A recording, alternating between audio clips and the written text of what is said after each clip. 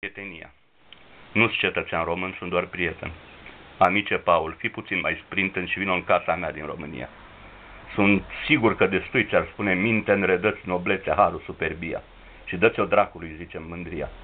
Sau fi, sau ce-o fi ea, poceala vreunui pinte zvârlind în toți și în toate fără nuanțe. Astfel de plezne sunt uzurpatoare și pentru tine, că și te fac oricare. Prietenia n-are doar uzanțe, având ea o calitate uimitoare, uită și iartă, fără circunstanțe.